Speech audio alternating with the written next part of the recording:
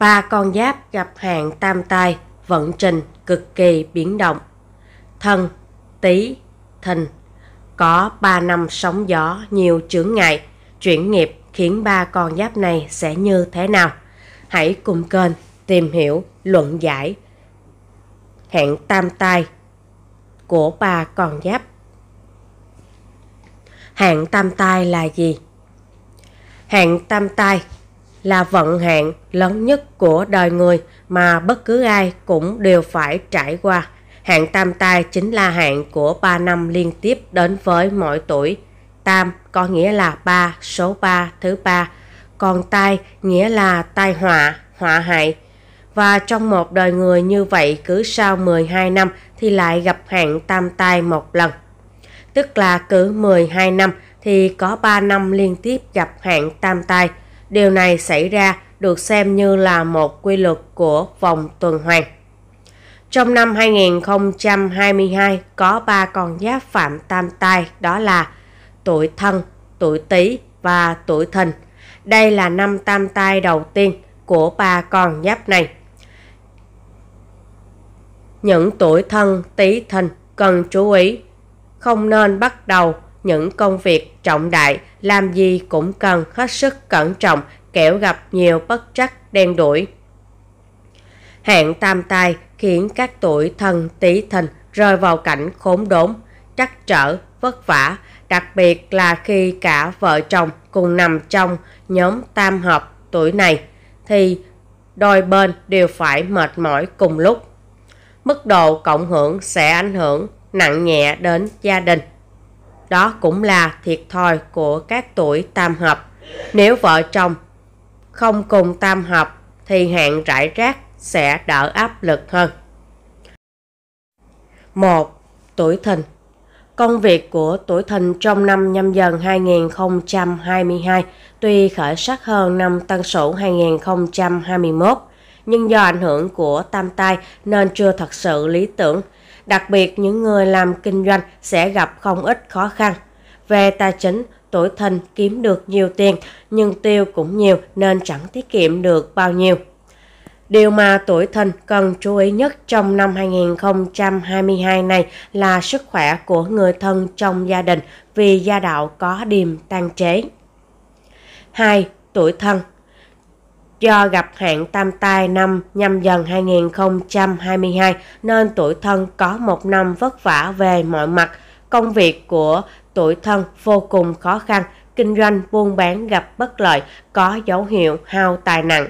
Bên cạnh đó, tuổi thân còn phải đề phòng bị trộm cắp tài sản, họa tiểu nhân. Gia đạo không êm ấm vì vợ chồng dễ xung đột do công việc tài chính.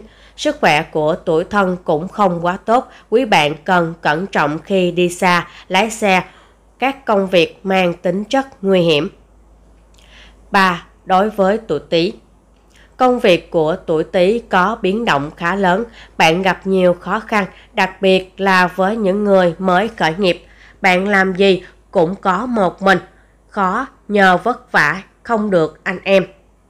Bạn bè, việc kinh doanh của người tuổi Tý cũng bết bát, dễ mất tiền, thất thu, chuyện tình cảm ảm đạm, vợ chồng lục đục, sức khỏe giảm sút.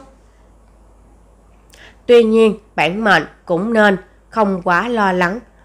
Quan trọng là phải kiên trì, vững tâm, thường xuyên tích đức hành thiện, vận trình ắt sẽ trở nên nhẹ nhàng và hành thông hơn.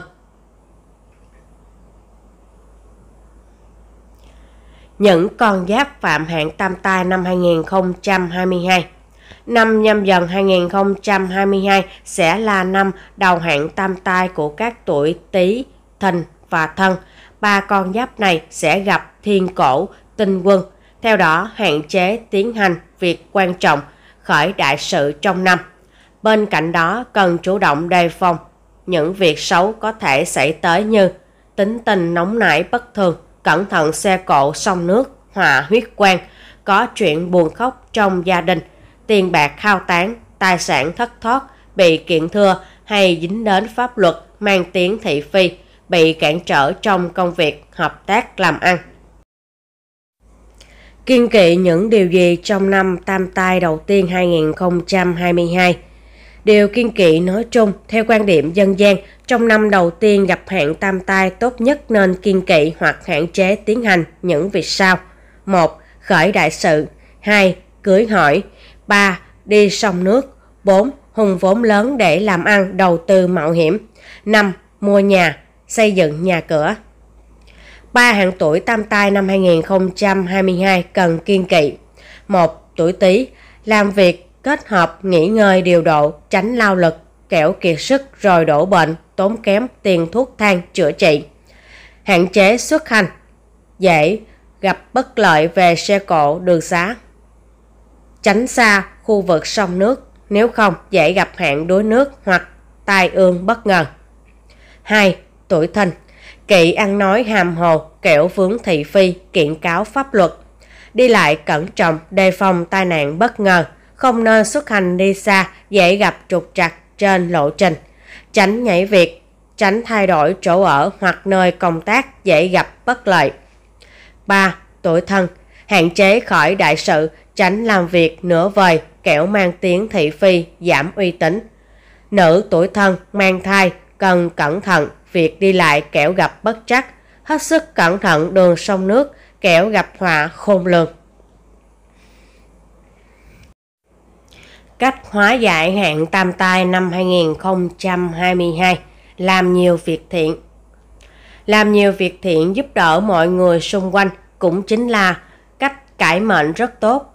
Theo đó, các tuổi thân, tý và thìn nên thường xuyên phóng sinh, hiếu thảo với cha mẹ, giúp đỡ mọi người xung quanh, quyên góp tiền bạc, làm công quả ở chùa. Như vậy sẽ được hưởng âm phước vô lượng, có thể giúp hóa hung thành cát, mang tới nhiều may mắn. Mức độ ảnh hưởng của tam tai đối với người gặp hạn có cấp độ nặng nhẹ khác nhau, phụ thuộc vào lá số của mỗi người. Xong, nhìn chung thì tam tai là một điều không thể tránh khỏi.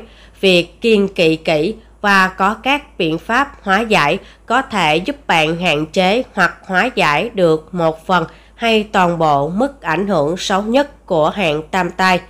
Người gặp hạn thường phải chịu ảnh hưởng chủ yếu về tài chính và công việc, còn vấn đề về tình cảm và gia đình thì ít bị ảnh hưởng hơn.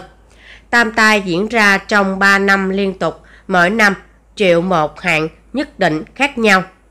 Cụ thể như sau. Đầu năm tam tai, năm đầu tiên trong vận trình hạn tam tai, gia chủ không nên bắt đầu làm những công việc trọng đại mới. Bởi lẽ vạn sự khởi đầu nan, nếu khởi sự công việc vào đầu hạn tam tai rất dễ dẫn đến thua lỗ, sẽ gặp khó khăn trong giai đoạn tiếp theo.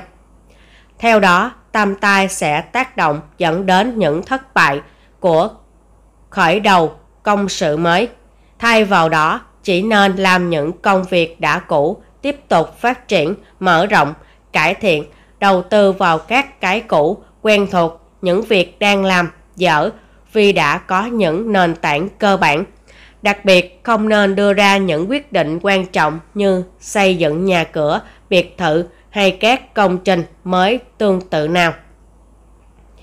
Năm 2 của Tam Tai Ở năm này có sự thay đổi so với năm đầu tiên. Thay vì ảnh hưởng đến bước đầu công việc thì ở năm 2 hàng tam tai sẽ tác động đến quá trình thực hiện của bạn.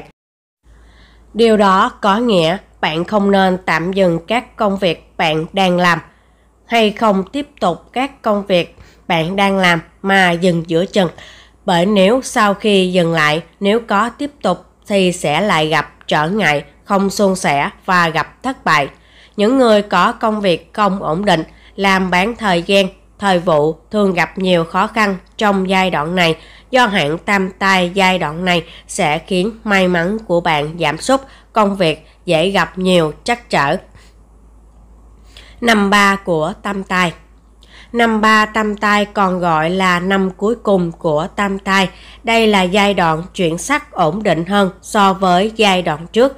Vì vậy, giai đoạn này gia chủ lưu ý không nên kết thúc công việc quan trọng vào đúng năm này, bởi lẽ năm thứ ba con đường công danh tài lộc của bạn có bước chuyển sắc tốt nhất. Người bị hẹn sẽ có nhiều cơ hội thăng tiến, gặp nhiều may mắn, công việc dễ dàng hơn. Hạn mức tam tai qua các năm có thể thấy rằng năm giữa là năm nặng nhất liên quan đến công việc ổn định công việc liên tiếp là năm thứ nhất và cuối cùng là năm cuối, chịu ảnh hưởng ít hơn, bởi đây là năm phục hồi.